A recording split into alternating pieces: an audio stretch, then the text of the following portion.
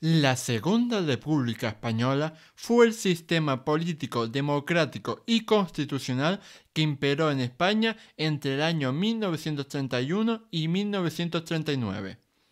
Por sus acontecimientos particulares, por sus personajes y por ser el régimen que existía en el momento en que estalló la guerra civil en 1936, la Segunda República ha tenido la desgracia de ser manipulada hasta la sociedad por todas las ideologías políticas de este país. Por ello, si quieres conocer la verdadera historia de nuestra segunda experiencia republicana, este programa es para ti. ¡Empezamos!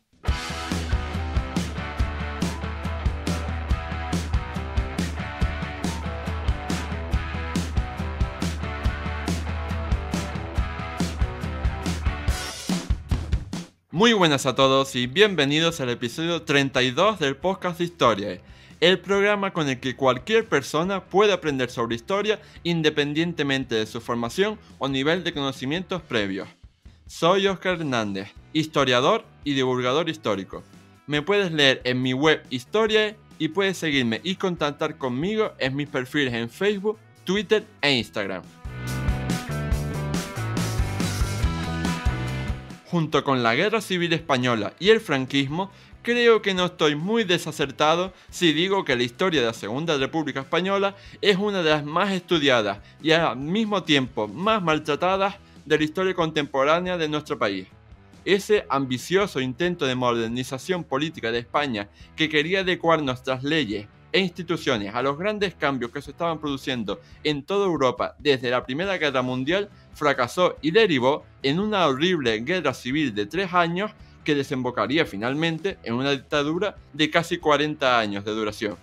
Con el tiempo, y sobre todo en los últimos años, la historia de la Segunda República ha sido tergiversada por políticos de muy distinta ideología, así que he pensado que sería muy buena idea aprovechar que ayer se cumplía la efeméride de su proclamación para lanzar este programa.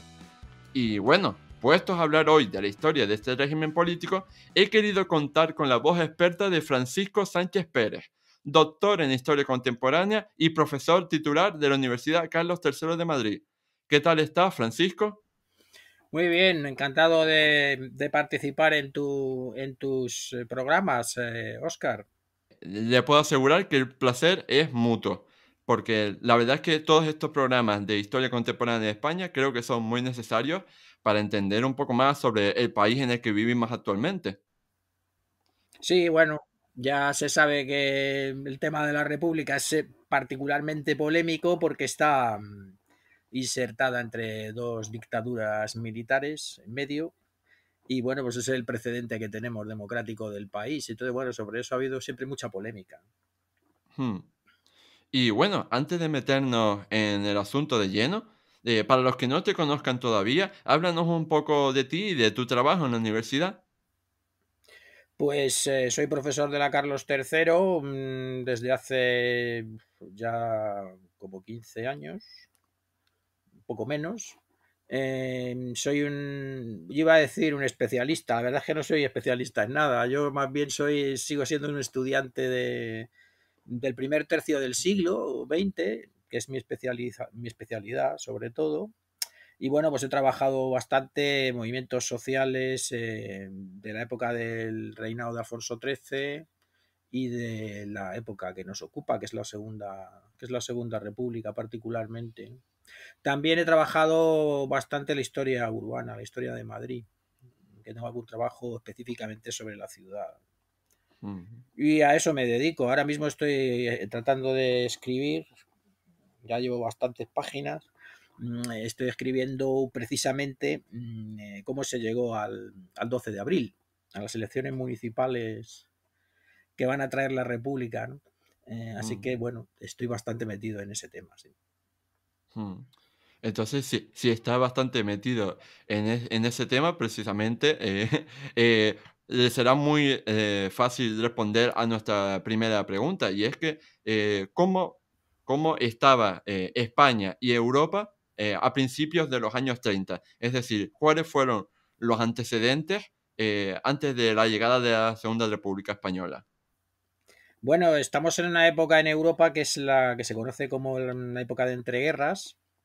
Eh, la Primera Guerra Mundial cuando termina es un enorme tsunami de tipo político y social que destruye muchísimas monarquías tradicionales en el continente, sobre todo en Europa Central, en Europa del Este, el Imperio Otomano, el Imperio Austrohúngaro, el Imperio Alemán, el Imperio Ruso.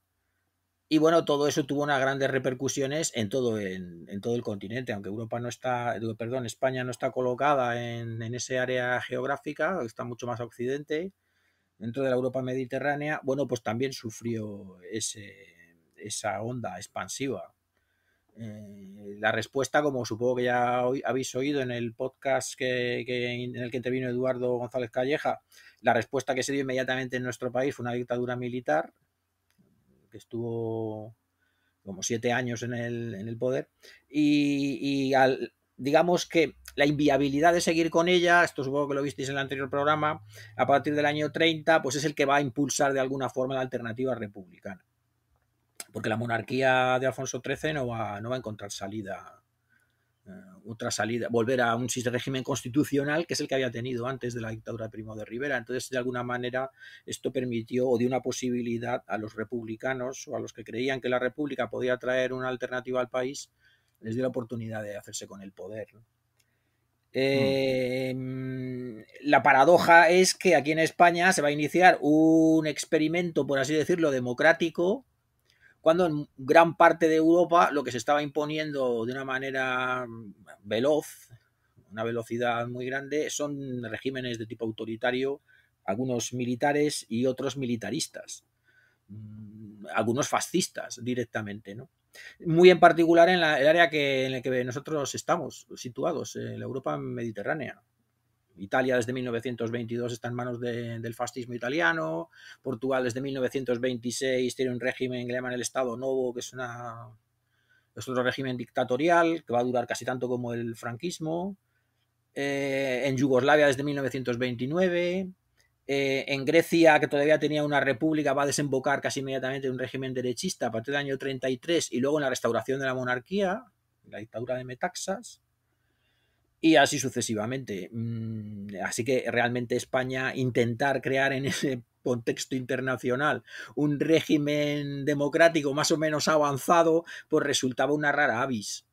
Así que bueno, pues en gran parte se explica por esto, ¿no? Eh, que, la, que, la, República pues no terminase bien. Hmm. También explica, por si alguna vez vas a hacer un podcast sobre la guerra civil, pues también explica en buena medida eh, cuáles van a ser los apoyos internacionales que van a tener cada uno de los bandos en la guerra civil, porque eh, realmente viene derivado también de esto. Es decir, el contexto internacional en el que estaba moviéndose Europa. Bueno, a partir del año 33, Austria y Alemania también caen en manos de dictaduras de este tipo. Mm, así que bueno, pues la República lo tuvo muy complicado. Hmm. Y no solo a nivel político, sino que también a nivel económico, porque en 1929 fue el crack de la bolsa de Nueva York que eh, provocó la mayor crisis económica de, la historia. Y entonces, pues, eh, también a nivel económico eso tuvo que afectar muchísimo al buen desarrollo de la República. Pues sí, eh, sobre ese tema ha habido un bastante polémica, yo casi más, más polémica sobre ese tema que sobre el tema político porque, bueno, aquí siempre ha habido la interpretación de que la, eh, crisis económica del 29, la Gran Depresión, no había afectado tanto como a otros países, porque España de alguna manera comercialmente mm, no estaba tan interrelacionada con el mercado, con el mercado mm, exterior como lo estaban otros países pero sí que terminó afectando a todos los sectores exportadores, mm, les afectó a nivel agrario, también a nivel industrial, la caída de los, de los precios a nivel internacional sí que acabó afectando, y sobre todo y particularmente afectó mucho el final de las, de las políticas expansionistas y desarrollistas, de las que supongo que el profesor Eduardo os comentó en el anterior podcast, eh, que había tenido la dictadura de Primo de Rivera. Porque a partir del año 30 se da un gran frenazo a ese tipo de políticas. Eh, presupuestariamente España no puede sostener eh, esas políticas de, de, construcciones de carreteras, de construcciones de ferrocarriles, de obras públicas que había tenido Primo de Rivera y que habían ayudado a crear mucho empleo. Y bueno, pues se sufre un grave frenazo a partir del año 30-31 que se va a notar mucho en el, en el, aumento del desempleo, O sea, que no solamente es la crisis internacional económica, sino también problemas domésticos de la política económica que se sigue eh, por esos años, que era estrictamente liberal, ortodoxamente liberal. Estamos en una época en la que el keynesianismo no se ha impuesto y no se hacen políticas de demanda. Y, lo mejor que se puede decir de la economía de los años 30 en España es que está estabilizada, mm, eh, digamos, em, que no crece, está estancada. Esa sería la palabra. ¿no? sufrió España el hundimiento económico que tuvo Alemania o que tuvo el Reino Unido en los años 30, pero sí, sí que se notó, sí. Hmm. Y bueno, eh, por, no adelantarnos más de lo debido, eh, volvamos a ese mítico día, el, el 12 de abril de 1931, porque ahí se produjeron unas elecciones municipales que fueron las que eh, después provocaron la proclamación de la República dos días después, el 14 de abril. Entonces quería preguntarte qué pasó justamente en esas elecciones, que fue lo que el detonante ¿no? de esa proclamación del 14. Bueno, las elecciones del 12 de abril fueron muy polémicas desde el momento en que se plantearon porque mm, el gobierno que, que, hereda la dictadura de Primo de Rivera tras la caída del dictador, que es el gobierno del general Damaso Berenguer, eh, que está gobernando desde enero de 1930 hasta febrero de 1931, el plan que tenía no era ir a elecciones municipales. El plan que tenía era ir a elecciones generales, mm, ordinarias. Es decir, convocar cortes ordinarias y que de ahí de alguna manera mm, se restableciese eh, la legalidad pues que había desaparecido prácticamente con la dictadura. Porque Berenguer lo que hace es dar cierta tolerancia a las fuerzas políticas, eh, un poquito la censura, pero realmente no restaura la Constitución del 76 en su integridad y mucho menos los derechos fundamentales. Tampoco deroga el Código Penal que tenía la dictadura Primo de Rivera, entre otras cosas. Y el problema es que gran parte de la clase política que rodeaba al rey no está de acuerdo en que se vaya a elecciones eh, a cortes, eh, sobre todo la izquierda liberal. Eh, para Romanones, García Prieto, Santiago Alba, los antiguos líderes del Partido Liberal, y además algunos monárquicos que están abandonando un poco la causa, no de la monarquía, sino del rey, al que le vienen a acusar de haber traicionado la Constitución y haberse echado manos de un dictador. Eh, pienso en José Sánchez Guerra, pienso en Ángel Osorio y Gallardo, pienso en Melquiades Álvarez, que era un republicano bastante tibio, y que lo que querían es que se hiciese unas cortes constituyentes y se revisase la constitución, se limitasen los poderes del rey mm, sin pedirle la abdicación directa. Y entre todos, pues se niegan a participar en las elecciones a cortes. Entonces no hay salida. Berenguer, si quiere presentarse a las elecciones generales, tiene que presentar prácticamente con el solo el apoyo del Partido Conservador, ¿no? Y no de todo. Y entonces en esta tesitura, pues tiene que dimitir se ve abocada la monarquía a una crisis tremenda. Alfonso XIII tiene que convocar a todos los jefes de los partidos fundamentales, eh, Romanones, García Prieto, eh, Juan de la Cierva, mm, van a estar todos presentes, incluso el propio Berenguer, que va a ser ministro de la guerra, y hace un gobierno de concentración y deciden cambiar el programa e ir a elecciones, a municipales primero, que es una de las exigencias del Partido Liberal y particularmente de Romanones. Primero elecciones municipales, después provinciales y después generales. Y entonces, bueno, pues se convocan para el 12 de abril. Mm, es decir, que ya desde el principio ya había bastante gente en el bando monárquico que no estaba de acuerdo en que se hiciesen elecciones municipales. Y a estas sí que se prestan a colaborar los republicanos y los, y los socialistas, que han formado una coalición eh, política, una coalición electoral, eh, que se van a presentar como tales en las elecciones del 12 de abril. No estaban dispuestos a ir a las de Cortes, pero sí estaban dispuestos a las municipales. Y bueno, pues el resultado va a ser, todavía se polemiza mucho sobre el resultado porque no tenemos exactamente el porcentaje de votos exacto del país, sí sabemos más o menos el número de concejales que se votaron en todo el país. Y bueno, pues la polémica habitual en las elecciones municipales, mm, lo más importante son los concejales, lo más importante son los votos. Dado que esto se había presentado prácticamente como un plebiscito eh, a favor o contra del rey, muy particularmente, hombre, pues el resultado fue bastante, bastante demoledor para, Alfonso XIII, ¿no? Porque en prácticamente todas las capitales de provincias, con la excepción de 5 o 6, pues eh, ganan los candidatos republicanos. Y me gustaría a mí hacer hincapié aquí, bueno, que andasen los republicanos en Madrid, en Barcelona, grandes ciudades, Valencia, Bilbao, hombre, pues no dejaba de ser algo que había ocurrido ya en otras ocasiones, ¿no?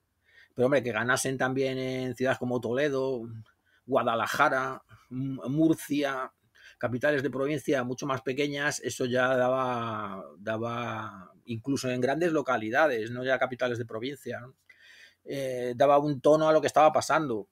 Y el resultado, que es muy importante, es que son resultados a veces abrumadores. En, Madrid, en Barcelona, es que rondan el 70% de los votos a favor de los, de los republicanos.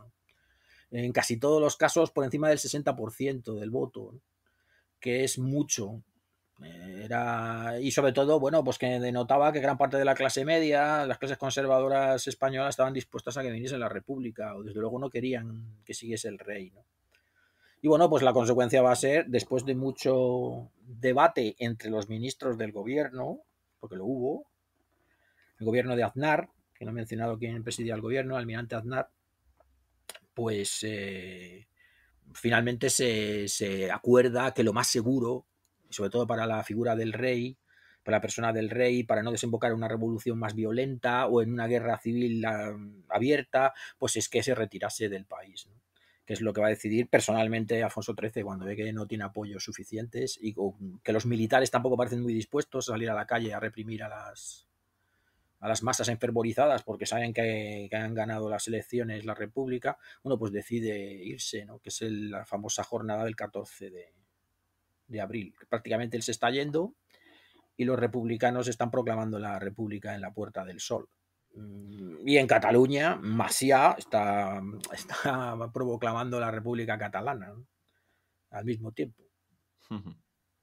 Pues sí, yo creo que eh, a la hora de hablar de cualquier eh, suceso, acontecimiento o proceso histórico, es muy importante tener en cuenta eh, no solo el desarrollo histórico del proceso en sí, sino también, pues eso, sus causas, sus antecedentes y obviamente sus consecuencias para entenderlo en todo su conjunto. Y bueno, eh, poco después de la programación de la República, unos meses después, eh, tuvo lugar uno de los grandes logros, por así decirlo, de, de, esta etapa democrática, que fue la programación o la aprobación, mejor dicho, de la Constitución de 1931 una constitución, eh, yo creo que bastante avanzada para la época, ¿no? Porque eh, contemplaba el sufragio femenino y, el divorcio, por ejemplo, para que los matrimonios se pudieran eh, divorciar si había pues, aceptación de ambos cónyuges. Y bueno, en este sentido quería preguntarte que nos hablaras un poco más detenidamente sobre las características de esta Constitución española de 1931. Bueno, em, la Constitución tenían un plan más o menos pensado los, los partidos que formaban parte de la conjunción republicano-socialista que presidía y que va a ser de hecho jefe del Estado, va a ser presidente primero del gobierno y después presidente de la República, va a ser don Niceto Alcalá Zamora, que era un exmonárquico, venía del Partido Liberal. Y tenían una idea, más o menos, pero que no coincidían en absoluto todos los partidos que estaban en la conjunción no tenían la misma idea hacia dónde se tenía que ir. Solo tenían un plan inicial, que era desde luego el voto femenino, como tú has dicho.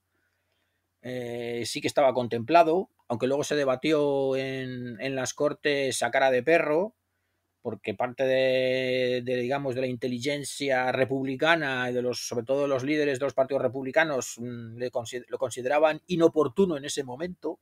Eso es lo que me gusta matizar no que no estuviesen a favor del voto femenino, sino que lo consideraban inoportuno en ese momento, consideraban que la mujer no estaba suficientemente preparada entonces, estaba muy en manos de la derecha clerical y que, bueno, se podía traer problemas a la República. Y también tenían contemplado que hubiese solo una Cámara, porque en principio las elecciones a cortes constituyentes se hacen unicamerales, es en un Congreso de los Diputados donde se va a decidir cómo va a ser la Constitución y al final se va a mantener ese sistema, el modelo unicameral. Pero, por ejemplo, Don Niceto era partidario de, dos cámaras, de tener un Senado. Lo que pasa es que va a quedar en minoría en el debate de las constituyentes y al final se va a quedar lo que será un Congreso unicameral, un sistema diferente en ese sentido al, que tenemos ahora. Entonces se veía como más radical, porque una sola cámara pues no tenía freno de, una cámara corporativa, de una cámara territorial o de una cámara de notables, que es lo que había sido habitualmente el Senado. Entonces, bueno, quitar el Senado, pues se, limitaba solamente a la Asamblea, lo que se llama a veces la convención, como en la época de la Revolución Francesa. Em, y el sistema de hecho que se diseña es así, muy parlamentario.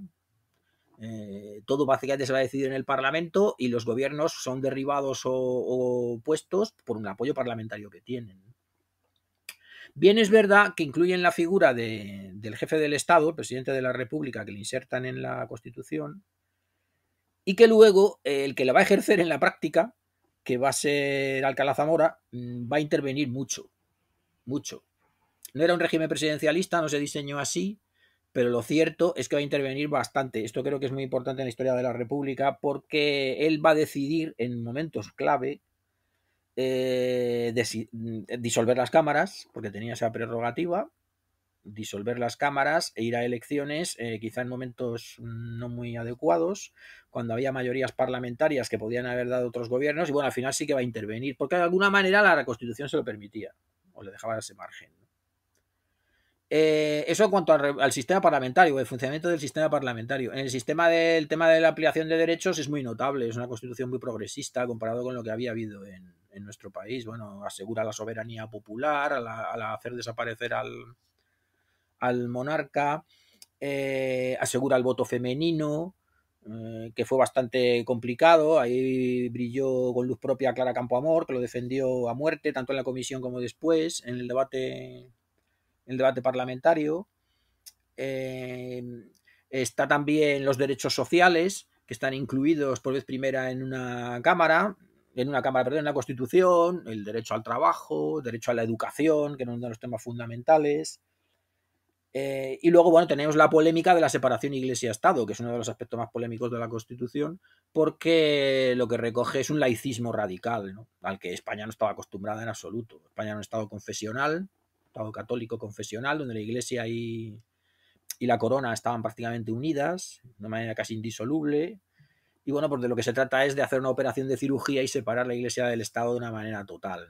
Que el Estado no mantenga la Iglesia, no la subvencione, no la financie.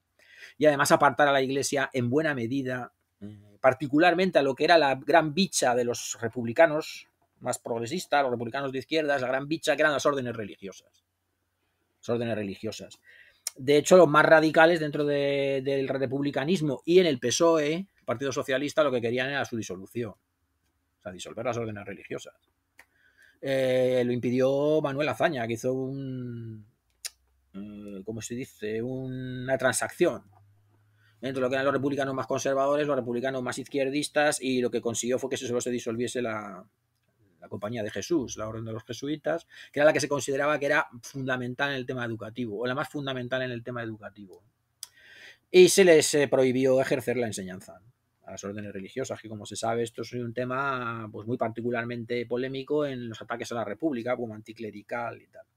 Pero hay que tener en cuenta el contexto de la época. Es que la educación en España era básicamente católica. Eh, gran parte de los que traen la República son profesores, muchísimos catedráticos, catedráticos de universidad, que estaban completamente convencidos de que para que España saliese del rincón de la historia, para que España progresase, tenía que desvincularse de la, de la enseñanza eclesiástica, de la enseñanza religiosa. Y entonces en esa medida hacen hincapié en eso. Y bueno, pues eh, si se hace un, Estado laico mm, avanzado, pues también tiene que incluir lo que tú has mencionado. Eh, que se pueda separar el matrimonio civil, se pasa para el matrimonio, hacer un matrimonio civil que, no sea indisoluble, secularizar los cementerios, es decir, la muerte, crear cementerios para todos, no solamente para católicos, eh, este tipo de, procesos. Eh, la familia, los hijos naturales, eh, convertirlos en hijos legítimos, aunque estén fuera del matrimonio canónico, que era algo que también era mm, novedoso completamente en España.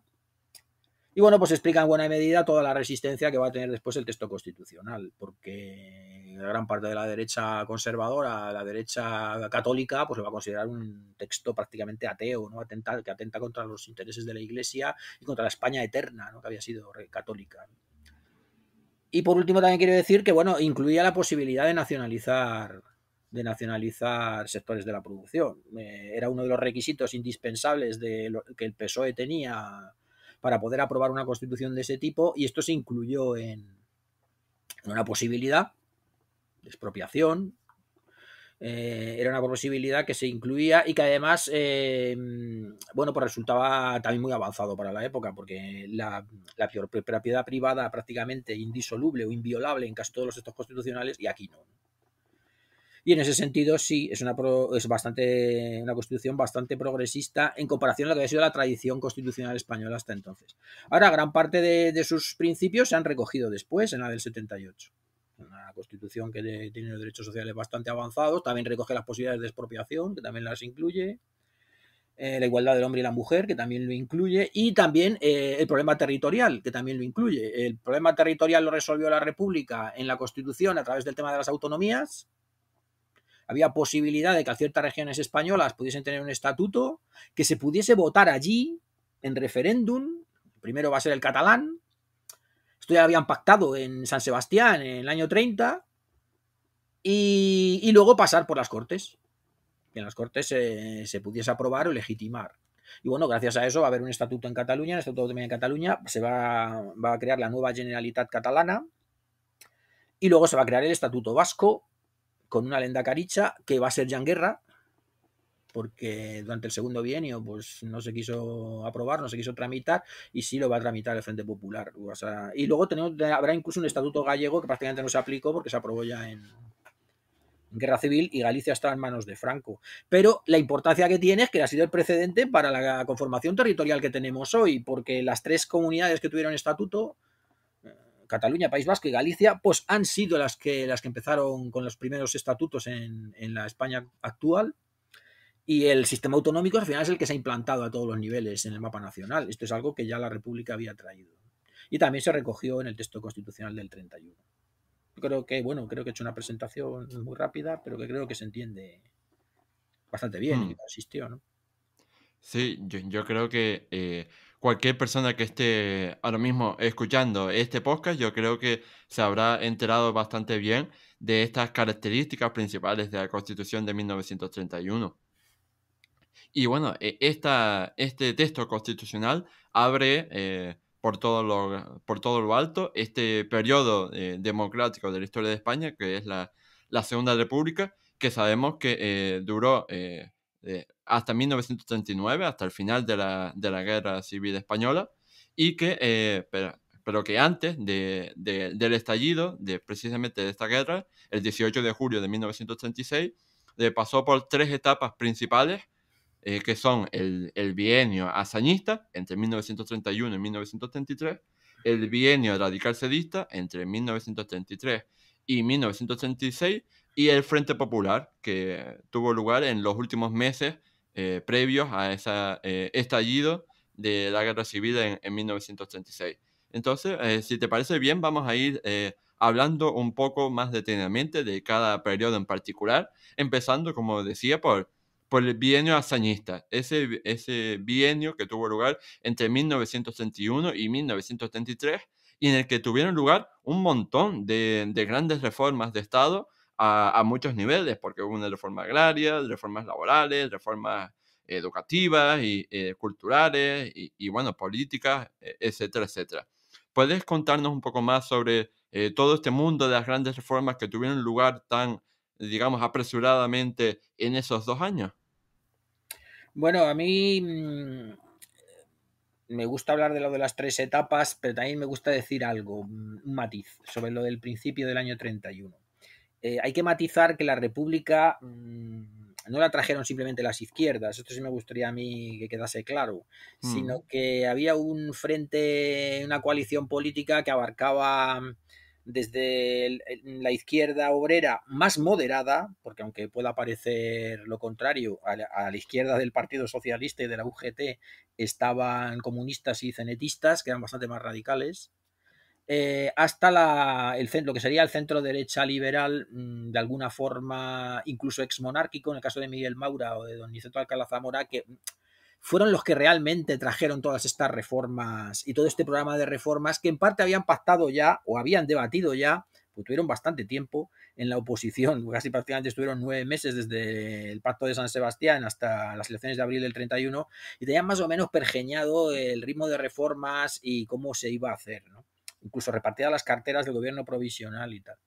Y entonces, bueno, hay una etapa previa a todo esto, que es como lo que lo llamo el gobierno provisional, hasta que se aprueba la Constitución, por lo menos, que va desde abril del 30, perdón, desde sí, desde abril del 31 hasta diciembre del 31, que es un periodo bastante amplio, donde ya empezaron a salir muchísimos decretos y muchísimas que luego se convertirían en leyes, y gran parte de todas estas reformas que tú has mencionado ya se están poniendo sobre la mesa y tenían el respaldo, eh, tenían el respaldo de todas estas fuerzas políticas. Lo que ocurre es que a partir de diciembre del 31, cuando se aprueba la Constitución, em, parte de, la derecha republicana, por así decirlo, el centro derecha republicana, el que forman Lerroux, Martínez Barrio, se sale del gobierno, se retira del gobierno, no está de acuerdo en seguir gobernando con los socialistas fundamentalmente. Esto quien lo va a llevar a cabo va a ser Azaña. El republicanismo de centro, por así decirlo, se divide en dos. Los que son más partidarios de atraerse a la derecha conservadora, incluso a la derecha católica, por un lado, que son los de Lerroux, y por otro lado, eh, Azaña y los suyos, que están más pensando en apoyarse en el Partido Socialista fundamentalmente y el sindicato que el Partido Socialista pilota, que es la UGT. Y ahí esta división, a partir de diciembre del 31, sí se puede hablar, como tú dices, del bienio social azañista o bienio azañista, eh, que lleva hasta septiembre del 33. Que bueno, también puedo comentarlo empezando por el final. En septiembre del 33 realmente no termina el bienio porque hay unas elecciones, porque se convoquen elecciones y se cambie el pistón político. En septiembre del 33 termina este bienio porque lo decide don Niceto Alcalá Zamora que considera que el gobierno mm, ha perdido la confianza del país por una serie de datos que él tiene o sugerencias que le hacen y decide convocar, disolver las cortes y convocar elecciones. Cuando había mayoría parlamentaria todavía suficiente para haber podido gobernar un tiempo más. ¿no? Es durante este primer bienio donde se hacen precisamente las primeras grandes leyes fundamentales, las primeras grandes reformas se llevan más o menos a cabo y que van a ser luego caballo de batalla del resto del periodo republicano.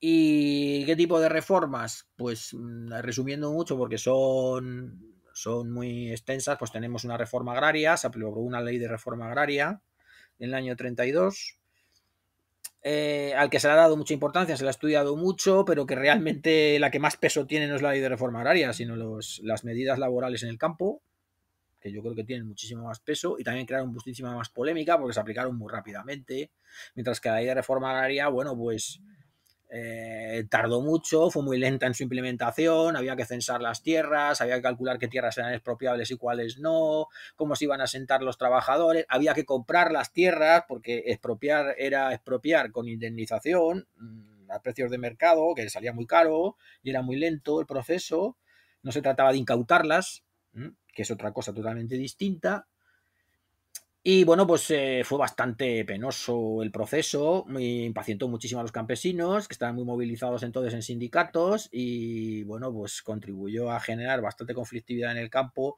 y no avanzó lo suficiente. Mm, luego, bueno, ya en el segundo bienio, hasta, que, hasta que es detenida, prácticamente paralizada. Pero en el primero también tardó bastante. Me gusta a mí decir que muchas de estas reformas, no solo la reforma agraria, sino otras que voy a comentar, estuvieron apoyadas también por la derecha republicana, que no estaba en el gobierno, estaba en la oposición, pero las vota.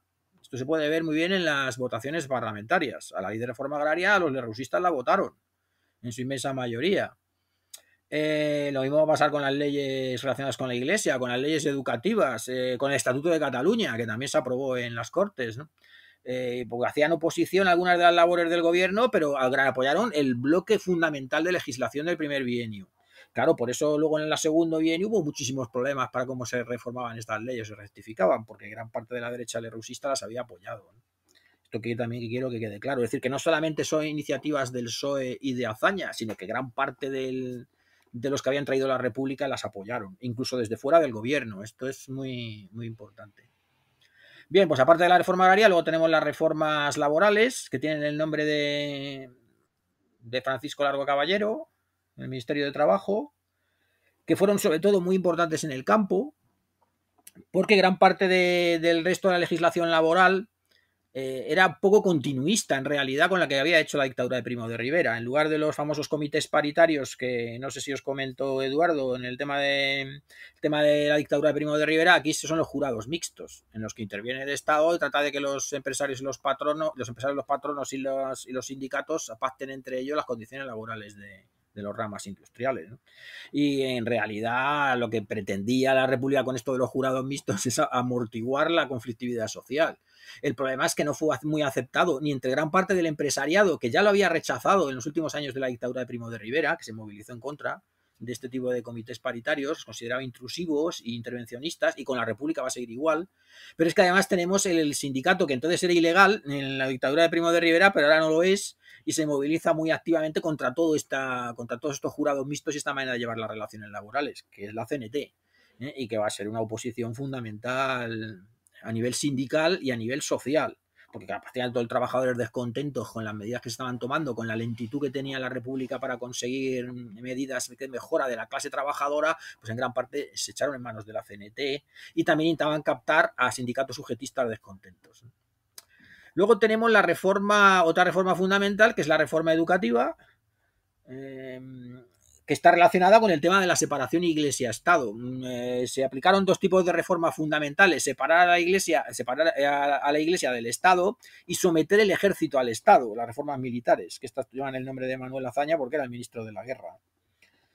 Eh, que también afectaron bastante, porque hubo muchos militares descontentos con las reformas antiazañistas, que se les llama, y que son el, elenco de lo que luego se sublevarán ¿eh? el 18 de julio. Así que tiene bastante, bastante importancia no todos los militares, pero sí un grupo bastante importante. ¿eh? Y con respecto a las reformas de, con la Iglesia, están relacionadas con las reformas educativas muy íntimamente, porque lo que se pretendía fundamentalmente es eh, que la educación estuviese a cargo del Estado. O el peso grande o, fundamental de, la, eh, de las políticas educativas las llevase el Estado. Sistema público, un sistema laico, un sistema único mm, y al menos gratuito, al menos en el nivel primario nivel de educación primaria. Bueno, pues hizo una gran política de creación de centros educativos que ya había empezado en la dictadura de Primo de Rivera, pero que ahora se intensifica o se incrementa. Eh, de creación de centros educativos, de preparación de profesores, de maestros, muy particularmente, de maestras, ¿eh? tratar de llegar también a las mujeres, alfabetizar a las mujeres, es un proceso que ya había empezado en los años 20 y que continúa ahora, y en combinación con esto, las políticas culturales, que es apostar por el libro, Básicamente, difundir el libro, difundir la lectura para contrarrestar el analfabetismo y muy particularmente el femenino, eh, que era bastante superior eh, al masculino. ¿Y qué me dejo? Mm, están las reformas del, que ya he comentado del Estado, o sea, de cómo está organizado territorialmente el Estado. Son los estatutos. Los estatutos, empezando por el catalán. Este, la Generalitat Catalana va a controlar la Esquerra Republicana de Cataluña, que es uno de los partidos que apoyó el Pacto de San Sebastián y que va a ser el que monopolice de alguna forma la, Generalitat, es decir, la Generalitat va a estar en manos de la izquierda nacionalista progresista, no va a estar en manos de la Liga.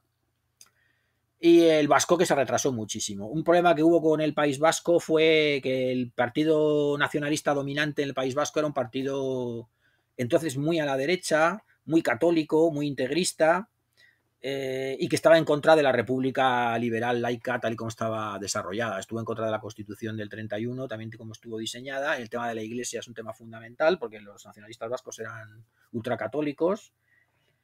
Y bueno, apoyaron de alguna manera las opciones más conservadoras, opciones más derechistas para el segundo bienio. Lo que pasa es que luego el Estatuto Vasco quedó, quedó olvidado, quedó varado, ¿no? no se desarrolló después del 33 y en ese sentido, mm, pues al final va a acabar apostando por los Frente Popular, que se supone que era un aliado contra Natura en el año 36, pero que va a ser el que va a traerle el Estatuto Vasco, ¿no? Se lo prometieron, mm, probablemente se habría aprobado con guerra o sin guerra, pero luego acabó aprobándose en guerra. Y creo que no me he dejado nada. Estos son los bloques de, de reformas que más o menos se desarrollan o se impulsan en el primer bienio.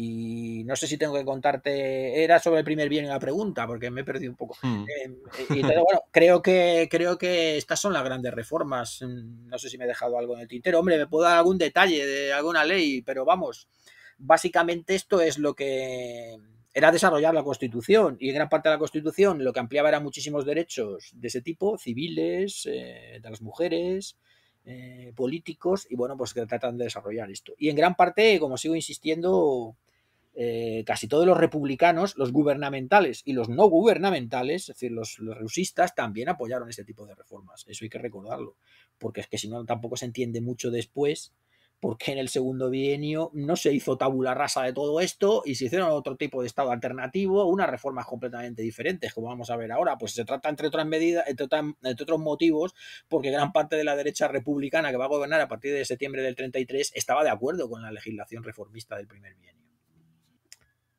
en parte. Querían solamente rectificar algunas cosas que les parecían negativas. Mm. Yo creo que eh, esto es muy importante señalarlo porque muchas veces eh, eh, muchos opinólogos y opinólogas de estos que escriben mensajes en las redes sociales como Twitter, pues hablan de, de, la Segunda República como si fuera solo un régimen político de izquierda, cuando, cuando no era así. Exactamente, exactamente. Yo creo que, yo creo que en este podcast a mí me gustaría que eso quedara muy claro. Mm. Porque no la trajeron las izquierdas, a la República no la trajeron las izquierdas, no la trajeron solamente las izquierdas. Esto a mí me interesa mucho porque además no solamente es un mito, como tú has dicho, por parte de las derechas, sino también por parte de las izquierdas. Hay gente con muy buena voluntad dentro de la izquierda, particularmente dentro de la izquierda obrera, que creen que es que la República la trajeron el movimiento obrero, la trajeron los obreros y los trabajadores, y no, no solamente los trabajadores. Eh, gran parte de la clase media española tuvo muchísimo, eh, muchísimo interés en que la República saliese adelante, y gran parte de estas reformas tuvieron bastante, bastante consenso. Hombre, dentro de la gente que aceptaba la, la República como un sistema liberal y tal, los que no lo aceptaron evidentemente no, formaron parte de este... y quería destacar muy particularmente en ese sentido que tú dices em, que de hecho, gran parte de todo este entramado que estamos contando de reformas y de instituciones acabaron manteniéndose, ¿no? Acabaron manteniéndose. Y, bueno, eso demostraba que cierta, cierta viabilidad, cierta viabilidad tenía. Hmm. Y luego, si se cuentan los meses, porque ya que estamos con lo de las etapas, pues realmente es que las izquierdas y las derechas estuvieron prácticamente empatadas en lo que se llama el cantidad de tiempo que estuvieron gobernando, lo que demuestra que, el régimen iba mucho más allá que simplemente un régimen izquierdista. Lo que sí te quería decir, y que también quería que llegase a los oyentes, es que eso se produce por el espejo distorsionante de la guerra civil. Esto es fundamental. Y es que es muy difícil estudiar o aproximarse a la Segunda República sin tener en cuenta lo que va a ocurrir después.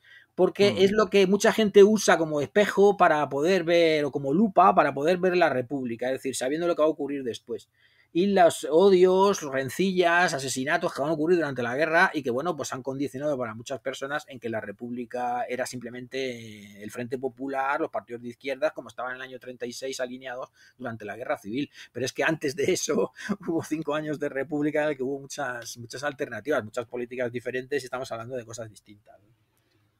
Claro, es que eh, la historia nunca es simple, la historia nunca es eh, algo binario, un choque entre buenos y malos o entre blancos y negros. O sea, la, historia es una escala de grises y siempre hay que tenerlo en cuenta eh, para que cuando cualquier persona, ya sea, yo que sé, un político, un periodista o lo que sea, de, pues nos presente esa historia como algo eh, simple, pues que nos demos cuenta de que no es verdad, de que no es nada simple y que no es algo que trajera solo una persona o un grupo de personas, sino que fue una construcción en la que eh, en mayor o menor medida pues todos tuvieron eh, su papel. Y bueno, eh, avanzando brevemente a este segundo bienio, como tú lo has mencionado ya, ¿qué, qué, qué podemos destacar de este segundo bienio radical sedista que tuvo lugar sobre todo entre noviembre de 1933 y febrero de 1936? Porque por lo que tengo entendido al menos fue menos estable eh, políticamente hablando que el primero, porque si no me recuerdo mal, hubo como 10 gobiernos ¿no? Eh, eh, en esos años, así que fue bastante. Sí, sí, un poco más de dos años, como 10 gabinetes. Em, bueno, esto se debe mm, en buena medida mm, a varios factores. E, el primero y fundamental es que el primer bienio se basaba en un pacto.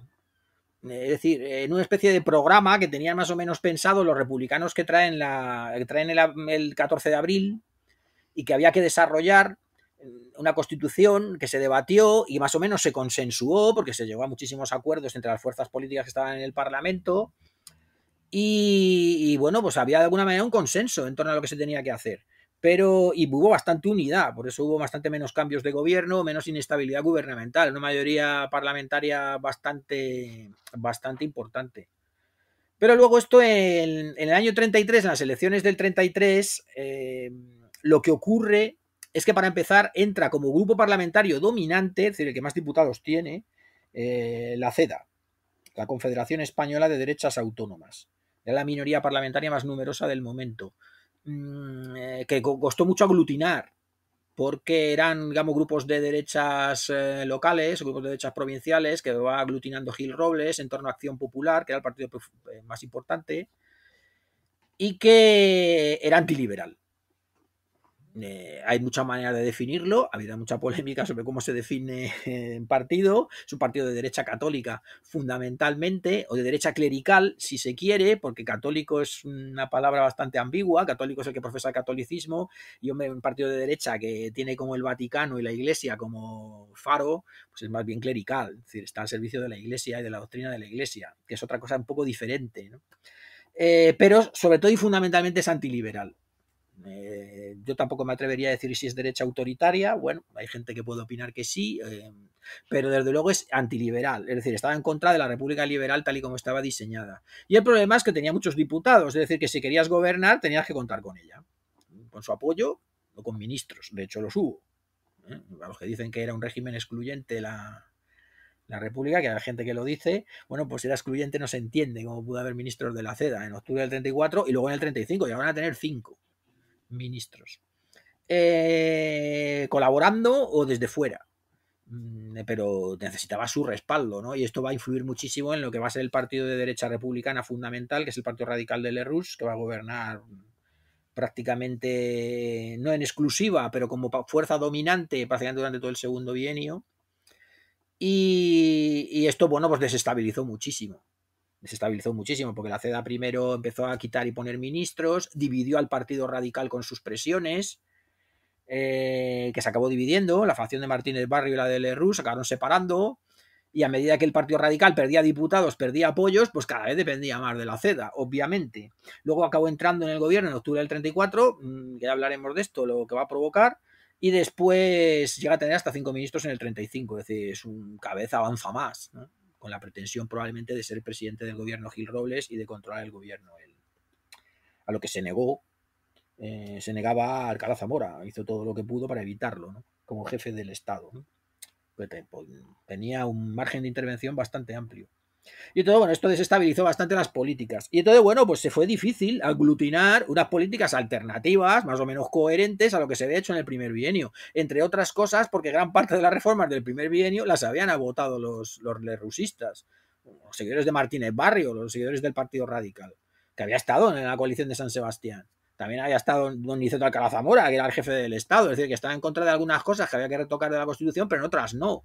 Y entonces, bueno, pues hubo, eh, no hubo manera de ponerles de acuerdo para hacer una reforma constitucional, que en principio se podía hacer a partir de diciembre del 35, porque se necesitaba un margen de años, a partir de diciembre del 35 ya se podía hacer una reforma constitucional, pero no hubo forma de poner de acuerdo, porque para entonces ya estaba pensando más bien en elecciones Alcalá Zamora, tampoco hubo forma de poner de acuerdo en las reformas que se tenían que hacer y hasta qué punto había que derogar las leyes del primer bienio.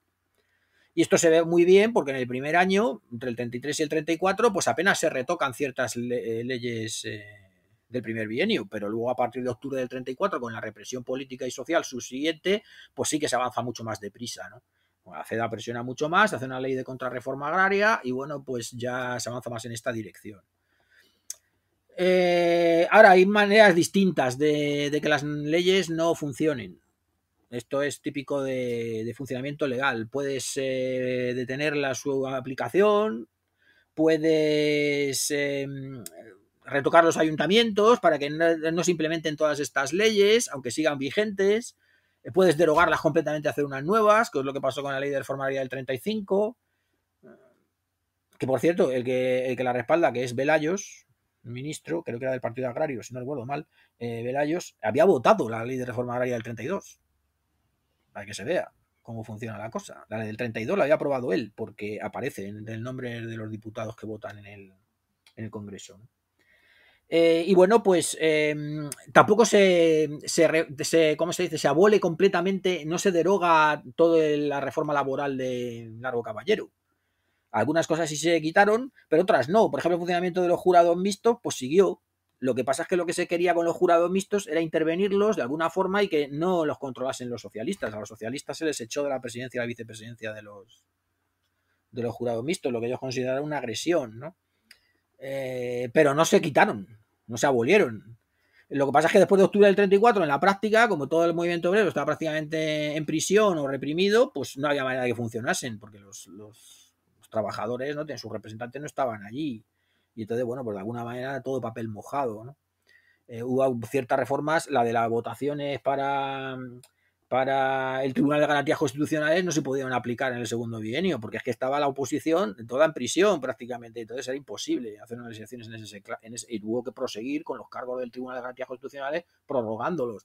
En los ayuntamientos lo que se hizo fue poner gestoras, sustituyendo a los ayuntamientos democráticos que había habido en el 31, porque es que la, oposición no podía funcionar en, en condiciones normales. Así que bueno, pues en gran parte también, en gran parte de esta inestabilidad, pues produce, mm, procede de ahí, ¿no?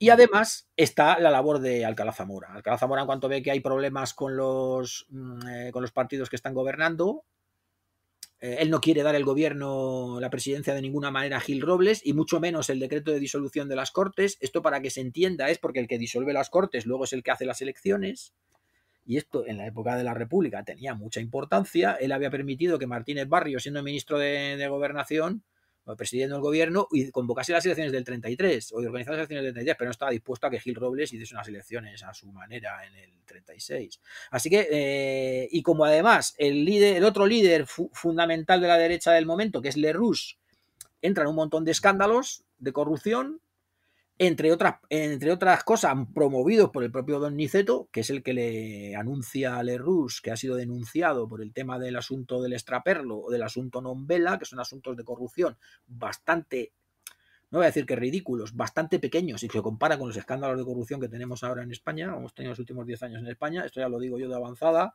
pero que entonces eran bastante importantes y le desacreditaron mucho, Como, como líder. De hecho, en el 36 ni siquiera le vota a la gente como diputado, ¿no? Y entonces, bueno, debilitado de Rus, con Gil Robles intentando conseguir la presidencia a toda costa, lo que hace Alcalá Zamora es buscarse políticos de segunda fila para que gobiernen durante varios meses, primero Joaquín Chapa Prieta y después Portela Valladares. Así es imposible gobernar con unas cortes que, que no controlan lo más probable es que te vas a encontrar que no puedes aprobar leyes y no puedes cerrar las cortes, porque te había un límite de cierre de las cortes. Eh, esto estaba prevenido, precisamente por lo que había pasado con Alfonso XIII. En la Constitución del 31 no te permitía tener las cortes cerradas sin edie. Así que no le queda otra que convocar otra vez elecciones, que es lo que va a pasar en febrero del 31 en la que ponía el riesgo, ponía en riesgo, como así va a suceder, ponía en riesgo su propia jefatura del Estado, porque como decía bien la Constitución, no podías convocar dos veces elecciones mm, en tu periodo presidencial. Si lo hacías, tenías que atenerte a que las cortes subsiguientes, como así va a ocurrir, juzgasen de alguna manera tu, tu comportamiento y al final le acabarán destituyendo precisamente por ese tema. Aún así, eh, sabiendo que arriesgaba bastante políticamente, pues se decidió a convocar elecciones antes de darle el poder a, a Gil Robles. Y bueno, pues creo que mm, con estos rasgos he explicado por qué es tan inestable el segundo, el segundo bienio. Hmm. Yo creo que eh, no sé qué pensarán nuestros oyentes, pero eh, creo que nos está quedando un programa muy bueno y, y sobre todo pues eh, divulgativo y, y ameno y, y, fácil de entender para cualquier persona que quiera escucharlo. Y bueno, eh, hablando de todo un poco, en a lo largo de esta última respuesta he mencionado el tema de la represión política que se dio tras la Revolución de Octubre de 1934, pero no hemos explicado exactamente qué fue la Revolución de Octubre de 1934, así que si quieres eh, expresarlo brevemente. Bueno, a mí me gusta más llamarla insurrección de octubre. Yo ya sé que, como tú sabes muy bien, porque hacéis muchos podcasts de divulgación de muchísimos temas de historia, hay algunos conceptos históricos que son imposibles de, desaparecer, como digo yo. Mm. Eh, eh, existe la reconquista y bueno, por mucho que se diga que, no fue una, realmente una reconquista, pues al final siempre hablamos de la reconquista.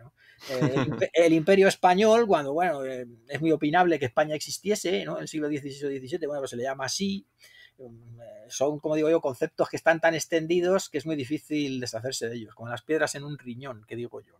Mm. Y, en este caso, pues es igual, porque el término revolución, hombre, se supone que se deja para procesos políticos de mayor amplitud.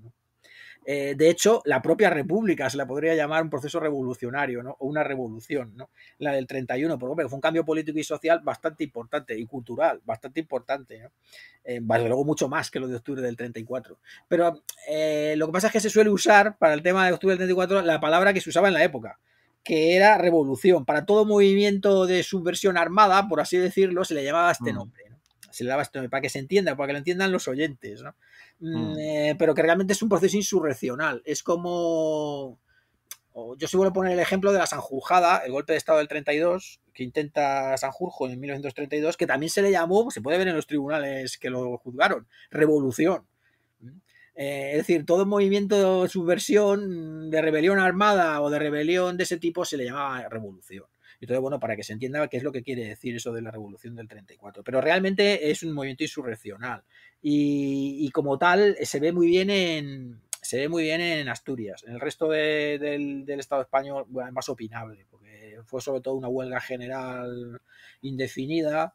Y luego está el tema de Cataluña, que bueno, sí es verdad que se, que se sublevan desde el punto de vista legal, pero tampoco tienen una fuerza armada de importancia que pueda oponerse al ejército español. En Asturias sí, fue muchísimo más grave. De hecho, algunos hablan de la revolución de Asturias directamente, no hablan de la del 34 para que se entienda. Pero vamos, eh, esto se debe fundamentalmente al motor básico de, de, lo, que va a ser, lo que va a ser el año 34, octubre del 34, es el movimiento socialista. Eh, es el que está, el peso fundamental a nivel nacional y tal. Aunque el conflicto real o sea, el conflicto que la chispa con la que realmente se promueve todo esto es el conflicto entre Madrid y Barcelona, es un conflicto con Cataluña. Porque todo esto viene derivado de una pugna con Companys, que está dirigiendo toda la Generalitat catalana, por aprobación de la ley de contratos de cultivo. Que Cataluña está dispuesta a hacer una especie de mini reforma agraria mm, amparada por la Generalitat y en Madrid no quieren. Y entonces, bueno, recurren al Tribunal de Garantías Constitucionales, viene a decir que esa ley es inconstitucional y no se la puede aplicar tal cual. Entonces, bueno, Companys se lleva las manos a la cabeza, el gobierno catalán entra como en fase de rebelión, dice que la van a aplicar de todas maneras y entra en un proceso de negociaciones con el entonces el presidente del gobierno español, que era, que era Ricardo Samper, del Partido Radical. Y en esa pugna, en ese, en ese pulso que está dirimiendo la Generalitat con el poder de Madrid, con el gobierno de Madrid, bueno, parece que van a llegar a un acuerdo en última instancia, y en, ese, en, esa, en esa tesitura interviene Gil Robles e interviene la CEDA. Dice que de ninguna manera se va a llegar a, un, a que se apruebe la ley de contratos de cultivo y que se llegue a un pacto con la Generalitat, porque ellos lo van a vetar, lo impiden y además quieren la entrada en el gobierno. Este es el contexto de, presión en el que se produce. Y ahí sí, en el momento en que entran los ministros de la CEDA, en octubre del 34, los socialistas consideran que eso han pasado, digamos, la línea roja de, Casus Belli, y entonces se lanzan la insurrección que tenían organizándose desde hace meses. O sea que es una combinación de las dos cosas. Hay un pulso con Cataluña y es lo que aprovecha la, eh, aprovecha la CEDA para, digamos, desembarcar en el gobierno, es decir, rendir al gobierno, porque abre la puerta a su entrada. Y los socialistas, que para ellos era el motivo fundamental, lo habían venido anunciando durante muchos meses, eh, para que se levantaran en armas, pues lo, aprovechan para hacerlo. Pero son los que llevan el peso fundamental de toda la sublevación a nivel, a nivel nacional. Tuvieron el respaldo del Partido Comunista, que se, que se sumó bastante tarde, en el año 34, creo que en septiembre del 34 es cuando se les suma, pero no, por ejemplo, de la CNT, que había hecho ya varias insurrecciones en el primer bienio, y la de diciembre del 33, que es el primer, cuando llega el gobierno de derechas, lanzan otra bastante colosal a nivel nacional, pero no se suma a la de octubre del 34. La CNT solo se sumó en Asturias, que es por lo que en Asturias las cosas van, van más lejos, son más graves. pero el peso fundamental quien lo lleva es la UGT y el Partido Socialista. Eh, ha sido un tema muy polémico, sobre el que se ha escrito ríos de tinta, la radicalización del socialismo. Tuvieron tres ministros en el primer bienio, solamente tres, en el primer bienio y en toda la República. Hay que decir que solo hubo tres ministros del PSOE. ¿no? Eh, y bueno, una vez eh, están fuera del gobierno, pues se dedican a lanzar una insurrección. Bueno, esto generalmente la derecha lo ha presentado como una especie de, bueno, como no estamos en el poder, pues lo queremos tomar por la fuerza. ¿no? bueno, es como tú has dicho antes, pues es una simpleza, ¿no? A mí me parece muy simplista, porque entre otras cosas, los socialistas habían salido del gobierno en septiembre del 33, es decir, antes de las elecciones. no es producto de un no es producto de unas elecciones exactamente. Los socialistas se consideraban, para resumirlo mucho, se consideraban traicionados por los republicanos. Ellos habían hecho un pacto, habían hecho que había que aprobar una serie de reformas sociales, esto más o menos estaba contemplado, porque si no ellos no iban a estar colaborando en un gobierno, algo que era muy polémico dentro del Partido Socialista y que hubo mucha división al respecto, sobre si se colaboraba o no se colaboraba en el gobierno, y cuando estuvieron con tres ministros en el gobierno, si se salían o no se salían del gobierno, y bueno, pues sí que es verdad que tuvieron un proceso de radicalización en el sentido de que vieron que sus reformas eran muy rechazadas, por los republicanos, no eran muy apoyadas, la gran parte de la oposición republicana fuera del gobierno eh, se cebaba con sus reformas, eh, identificaba a la República con ellos, es decir, con los socialistas, y en las elecciones del 33, gran parte de las fuerzas de derecha eh, se ponen de acuerdo en la campaña electoral para arremeter precisamente contra los socialistas. Yo lo considero, las considero de hecho un plebiscito antisocialista, y así lo he descrito en algunos, en algunos casos. Así que los socialistas consideraban que si la República les rechazaba, la República no quería saber nada de ellos, y luego las reformas del segundo bienio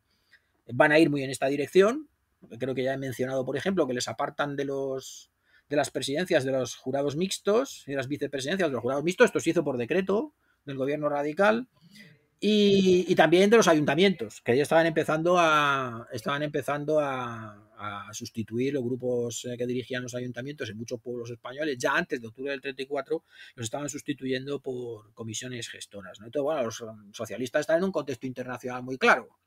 Es decir, el parlamentarismo, más que llevar al socialismo, que es lo que habían venido diciendo ellos, que son socialdemócratas, eh, lo que lleva es al fascismo. Y en Asturias, en Austria han ganado en el 33, en el 34 aplastan a los socialistas allí. Eh, Hitler se ha hecho con el poder en Alemania, los socialistas no han dicho ni mu. Y, bueno, pues parece que en España las cosas van por el mismo camino. En el 33 eh, llega a gobernar la derecha en Grecia, que va a restaurar la monarquía, que es otro caso bastante más parecido al nuestro que el de Europa Central. Y bueno, pues los socialistas se temen que aquí va a ocurrir lo mismo. Entonces, de manera preventiva, por decirlo de alguna forma, dice, bueno, si llegan los ministros de la CEDA al gobierno, pues ya tenemos la señal para lanzar un movimiento armado. Pero muy mal organizado, porque no se tenían armas, eh, en Asturias lo que tenían era la dinamita, que es algún arma fundamental, y por eso las cosas allí van a ir muchísimo más lejos. Los mineros están muy organizados.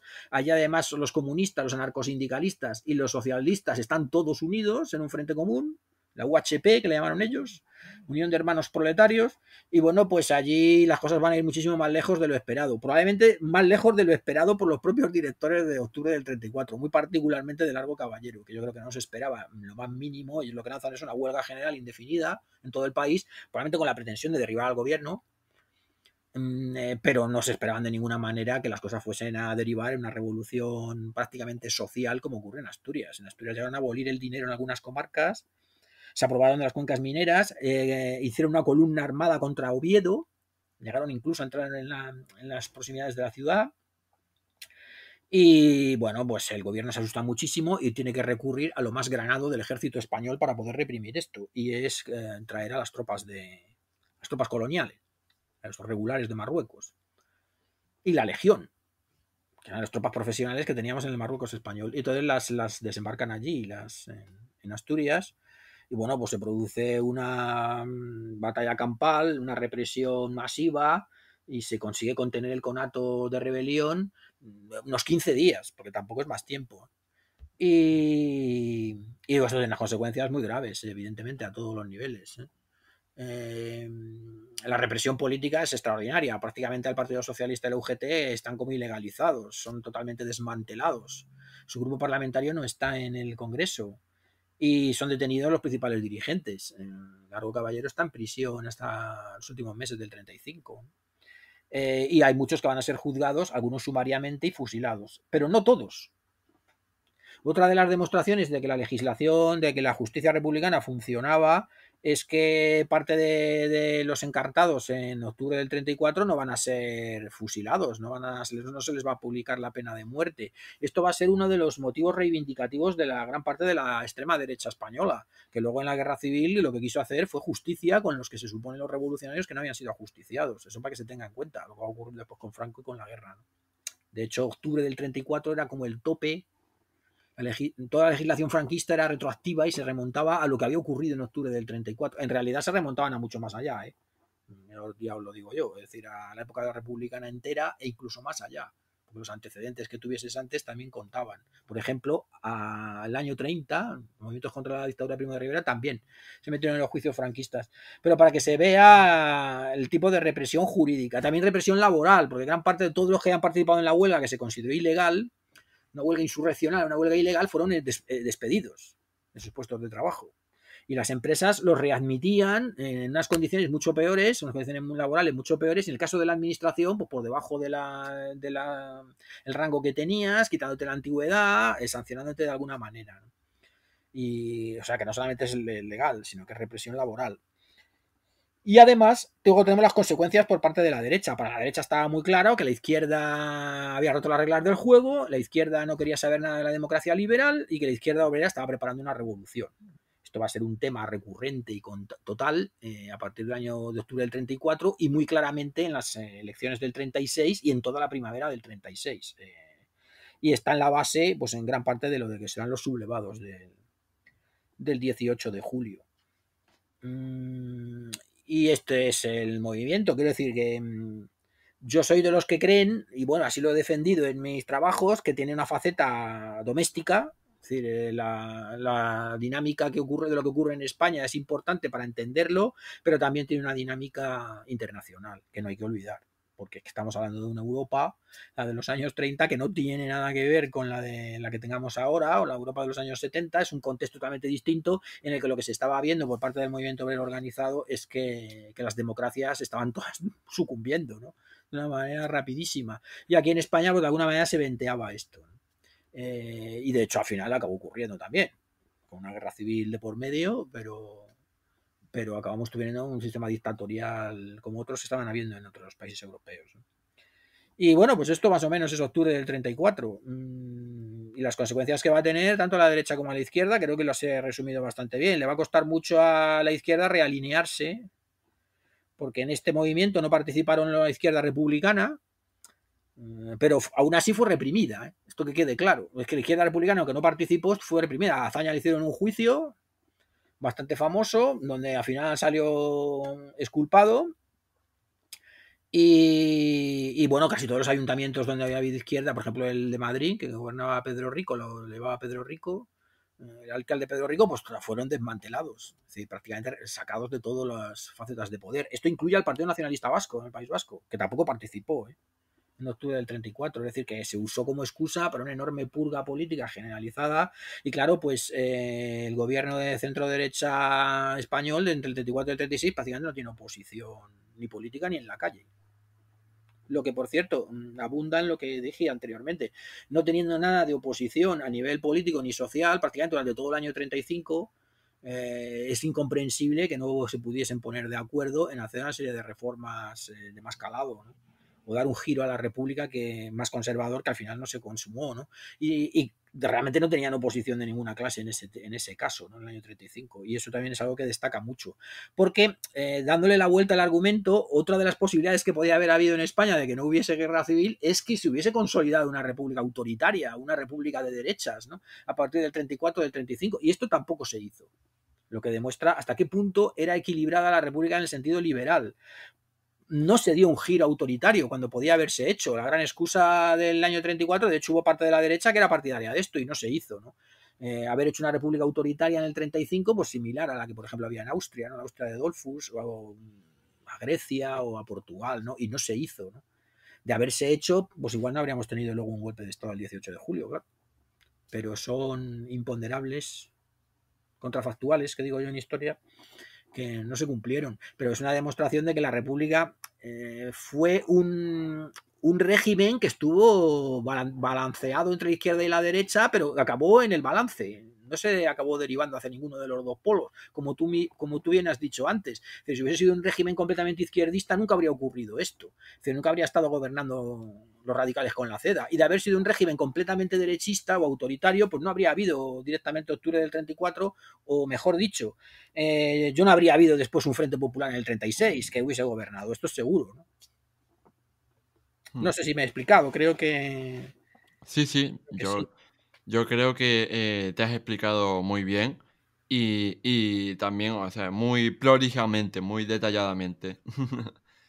y bueno, para ir finalizando esta entrevista, eh, pues tenemos que, como has mencionado en esta última respuesta, eh, a partir de febrero de 1936 se, se produjo un reagrupamiento de las izquierdas que que al final pues derivó en la creación del Frente Popular, que fue el gobierno que, que lideró el país en esos últimos meses antes del estallido de la Guerra Civil Española. Entonces yo te quería contar, eh, o, te quería eh, pedir, mejor dicho, que nos contaras eh, cómo fueron esos últimos meses de la Segunda República antes de, del estallido del golpe de Estado del 18 de julio. Bueno, eh, le solemos llamar, eh, yo entre otros, me imagino, por las cosas que... Eh, le solemos llamar gobierno del Frente Popular, pero es un poco inexacto. Mm, el gobierno, los gobiernos de febrero del 36 hasta julio, tirantes de la guerra, son gobiernos Azaña, Casares Quiroga, gobiernos republicanos mm, de centro izquierda, porque uno de los dos partidos que lo apoyaba, que era Unión Republicana, el partido de Martínez Barrio, pues estaba bastante en el centro. Eh, digamos, centro progresista, si se quiere. El Azaña está un poco más a la izquierda, pero no mucho más. Y en ellos no está el PSOE, no están los socialistas siquiera presentes. Eso para que quede claro. Lo que ocurre es que estaban apoyados parlamentariamente por lo que son las fuerzas políticas que formaron el llamado Frente Popular. O sea que realmente lo que sí van a ser gobiernos del Frente Popular, aquí viene lo que antes he comentado, la confusión con el tema de la guerra civil, lo que sí van a ser gobiernos del Frente Popular van a ser a partir de septiembre del 36, ya en guerra, cuando Largo Caballero los presida.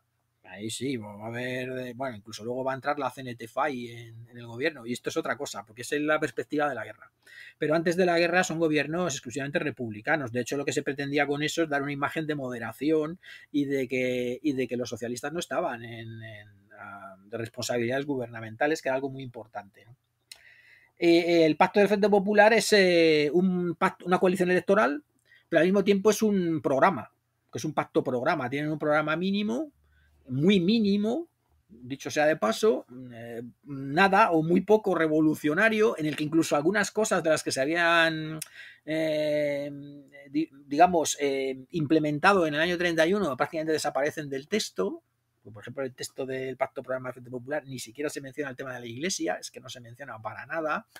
Y se habla un poco de reimpulsar la reforma agraria, de tomar las medidas que el país necesita, de una amnistía, que era algo fundamental para, para poder tener el apoyo de las fuerzas obreras, las socialistas, las comunistas y también muy particularmente la CNT, si es que se quería que votase, eh, la amnistía que estaba incluida.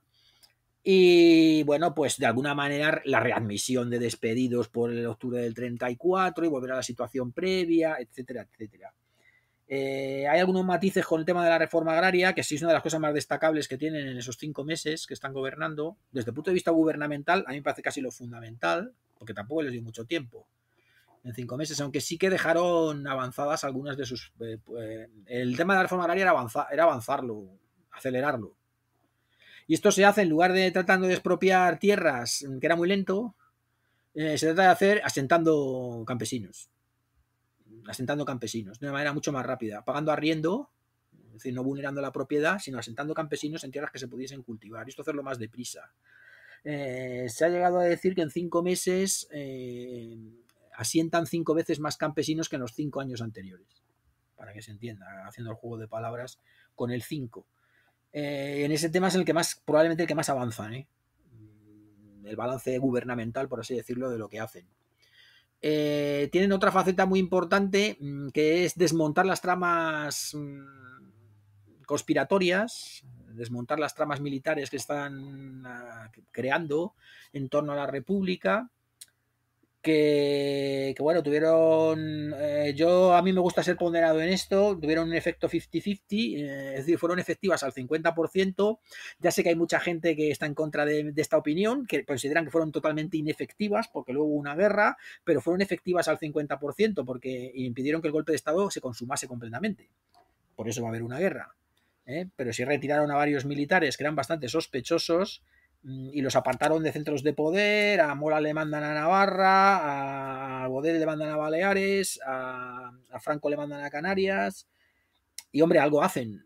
Sanjurjo estaba en el exilio desde, desde el 32, y algo hacen, porque es precisamente por esto, por lo que la guerra, los golpistas no triunfan. Entonces, bueno, la guerra civil va a ser inevitable más tarde.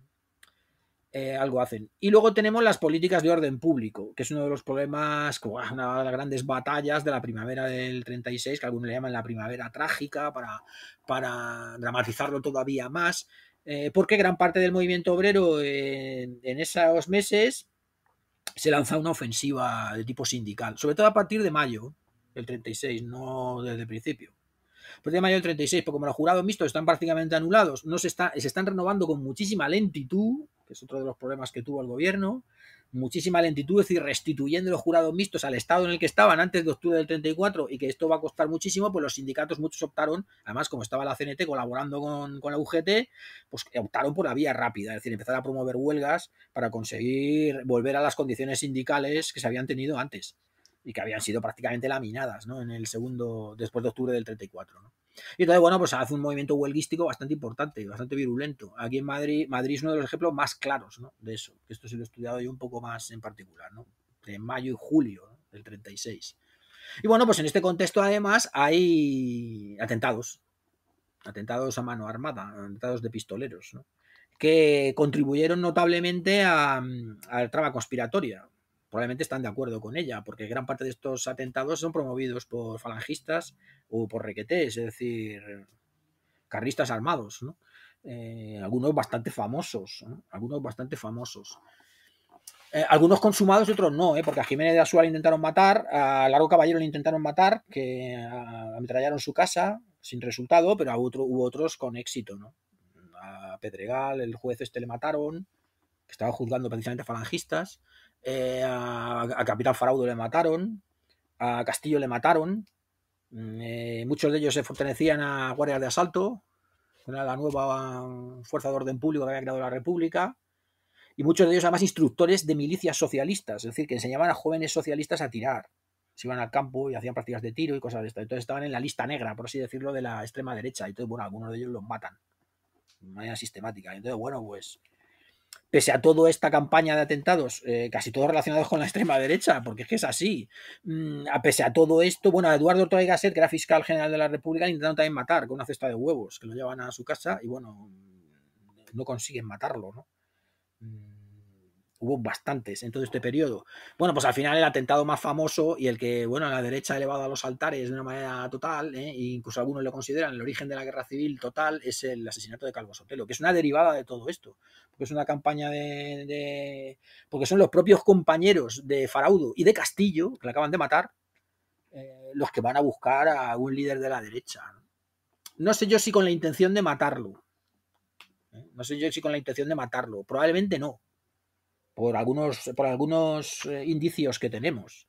Eh, probablemente con la intención de detenerle, de molestarle y probablemente de asustarle. de llevárselo a Pontejos, donde estaba el cuartel de guardia de asalto, a interrogarle, no sé con qué intención. Porque de hecho primero buscan a Gil Robles y acaban yendo al domicilio porque estaba en Biarritz y no estaba. No estaban ni siquiera enterados de que se pasaba los días en Biarritz, y que no estaba. O sea, fijaros la planificación que tenían. Y luego se van a, luego se van a buscar a Carlos Sotelo que, lo sacan de su casa, vamos, ve que hay gente que son de la guardia de asalto, que son agentes de seguridad, pues piensa que no le va a ocurrir nada. Entonces, bueno, eh, se va con ellos y, bueno, prácticamente, no sé si es nada más arrancar, al doblar la calle, poco más o menos lo mata. Hay un pistolero que lo mata allí, en la furgoneta. Pero vamos, ni se molestan en ocultarlo ni nada, lo dejan ahí tirado en un cementerio. Rápido las noticias salen al día siguiente. Y bueno, pues esta, digamos, esta, esta mm, retaila de huelgas, de conflictos sociales, también algún incendio de iglesias, porque hay incidentes anticlericales, eh, que se, eh, se, retoman en la primavera del 36. Aquí hay algunas iglesias en Madrid que son quemadas, ¿no? Casi siempre por algún tipo de incidentes o de choques con la derecha de algún tipo.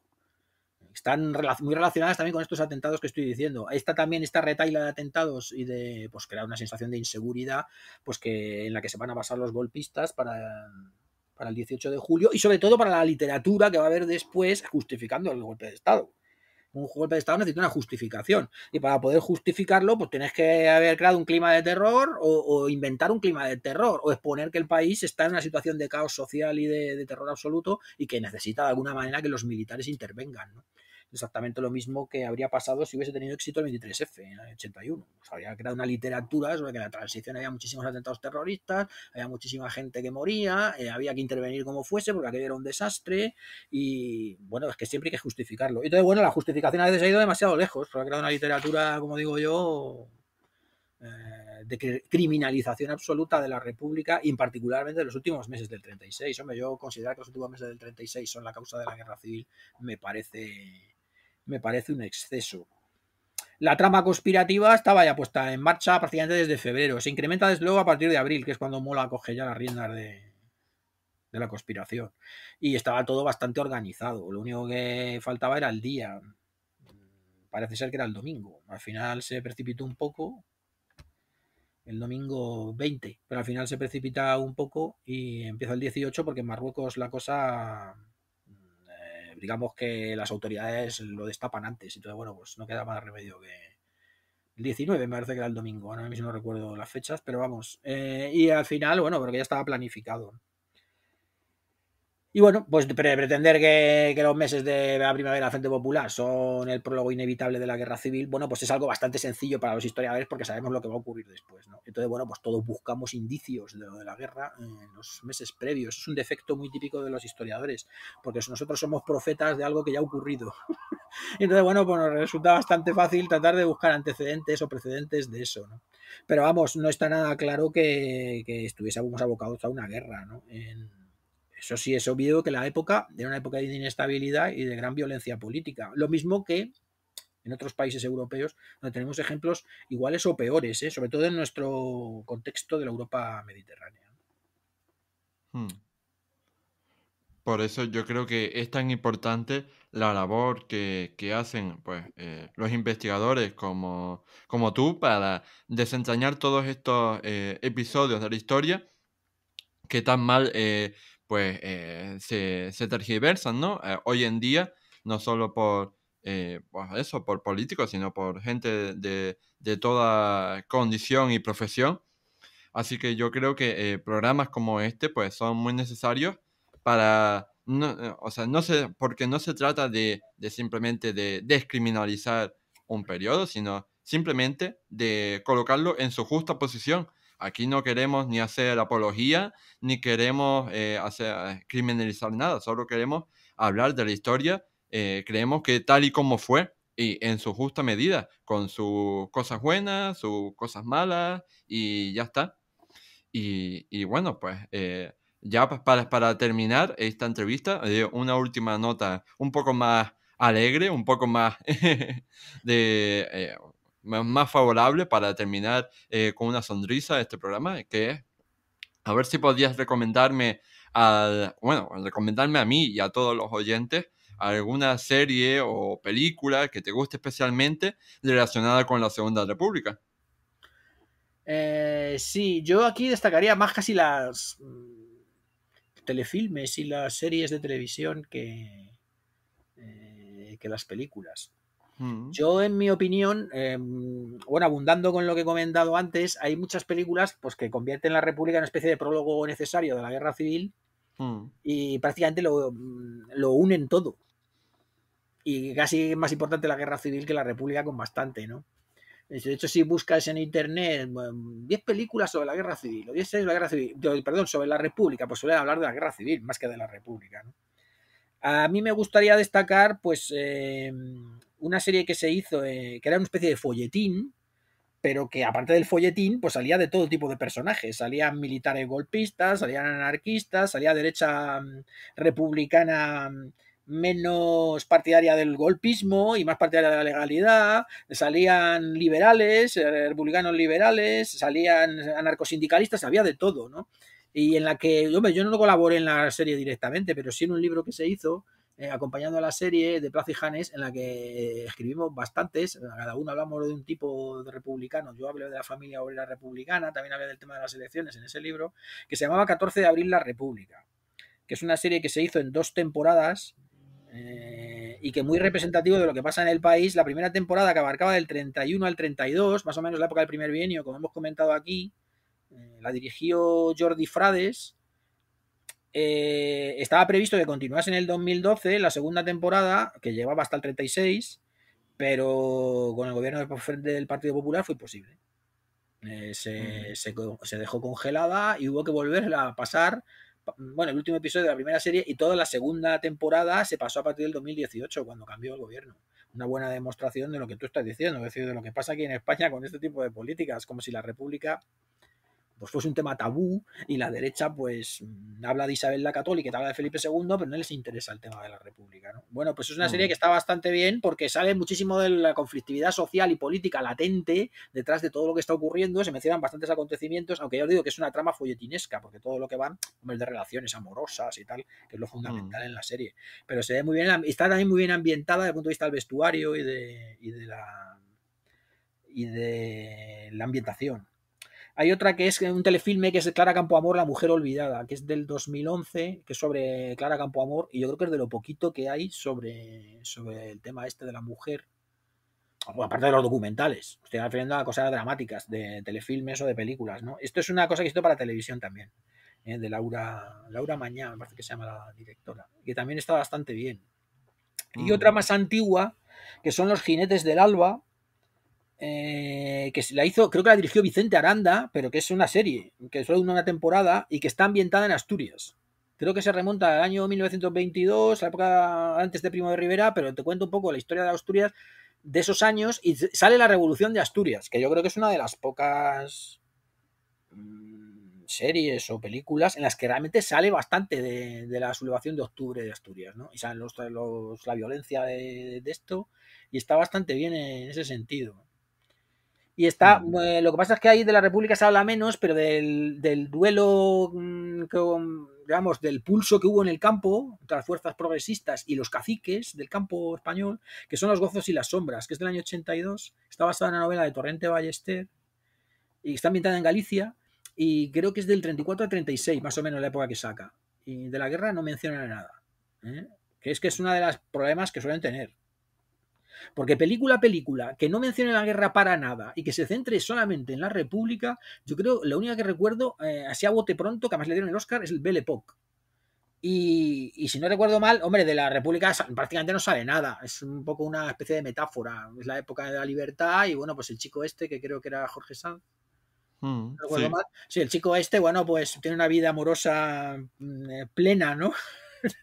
libertina y plena total, ¿no? No sé si realmente tiene mucho que ver con la, con la República en sí misma, pero vamos, es como una metáfora, ¿no? De Fernando Trueba, la película. Y yo creo que es de las pocas, porque las demás casi todas, La Forja de un Rebelde de Barea, La bicicleta son para el verano, mm, todas van, conducen a la guerra. La Plaza del Diamante, la Plaza del Diamante, mm. que es una serie bastante buena en Barcelona, empieza con la República, pero todo termina en la guerra, ¿no? Y la guerra además luego se lleva a la parte del fundamental, ¿no? Sí, y también hay una famosa, ¿no? Que, que es la lengua de las mariposas. Eso iba a decirte, y está la lengua de las mariposas, que casi todo lo que sale en la película de José Luis Cuerda, que casi todo lo que sale en la película sí que es república, porque creo que lo de golpe de Estado solo es al final. Está muy bien, porque demuestra lo que va a ocurrir con todos esos maestros que, que trajeron la República y que creían en la República, como Fernando Fernán Gómez, ¿no? Es un poco mayor, Fernando Ferran Gómez quizá para hacer ese papel, porque los maestros más avanzados de la época de la República eran los que la propia República preparó, que eran muy jóvenes y tal. Eh, pero demuestra sobre todo con la llegada del golpe de Estado y con la guerra lo que va, a ocurrir con toda esa gente, porque el propio hijo, el propio chico al que él ha educado, y que tanto admiraba a su maestro, le despotrica contra él de una manera brutal al final de la película, un final que mucha gente no ha entendido y que viene a ser lo que va a hacer el franquismo, es decir, deplorar completamente toda esa gente, ¿no? Degradarla a unos niveles impresionantes. El chavalín que, que le llama espiritrompa y le tira piedras al hombre cuando se lo están llevando en el camión para ejecutarle probablemente, pues es una metáfora de lo que va a pasar con España, ¿no? Lo que van a hacer con la República y que en parte hay gente que sigue haciendo, es decir, bueno, es una época detestable, ¿no? Nos trajo la guerra civil o poco menos y creo que eso lo ejemplifica muy bien la película. Y hay gente que, sobre todo el final de la película, y hay gente que esto no lo, yo creo que no la entendió, ¿no? Pareció muy triste, ¿no? Que terminase así. Bueno, pero es que es, la historia de España es así. Hmm. Sí. Y bueno, pues eh, llegados a este punto, pues lamento tener que decir que hemos llegado al final de la entrevista. Y bueno, yo solo quería agradecerte infinitamente a ti, Francisco, por, por, habernos hecho un hueco en tu agenda para hablar sobre este periodo tan trascendental de la historia de nuestro país. Yo creo que nos ha quedado un programa bastante largo, pero ameno, ameno y, y completo para abordar la historia de un periodo tan eh, importante, ¿no? Como es la Segunda República y como hemos dicho a lo largo de todo el programa, tan, tan menospreciado o tan eh, tergiversado por eh, gente de toda clase, condición e ideología. Así que nada, espero que a partir de programas como este, pues cualquiera que haya oído, leído o visto algo sobre la Segunda República, pues pueda verlo nuevamente con otros ojos con los ojos de la historia y ya no lo valore tan visceralmente, tan apasionadamente, ya sea por un extremo o por otro. Pues gracias a ti, Oscar. Mm, yo lamento que haberme enrollado mucho, pero mm, bueno, son temas muy difíciles de muy difíciles de sintetizar o de comprimir más, ¿no? Eh, tranquilo, eh, eh, Francisco, que yo creo, como se suele decir, que la historia te perdonará. muchas gracias, Oscar. Ahora sí, ha llegado el final del programa 32 de Historia. Si quieres expresar qué te ha parecido este podcast, darme alguna sugerencia sobre temas a tratar en el futuro, hacerle alguna pregunta directa a Francisco o recomendarme algún libro que deba leer, no dudes en dejarme un comentario. Dicho todo esto, no me queda más que invitarte a darle a me gusta, a puntuarnos con 5 estrellas si nos escuchas desde Apple Podcast o Spotify, a suscribirte al programa y a compartirlo en todas tus redes sociales para que llegue al máximo público posible. Nos vemos en el próximo programa de Historia. ¡Hasta luego!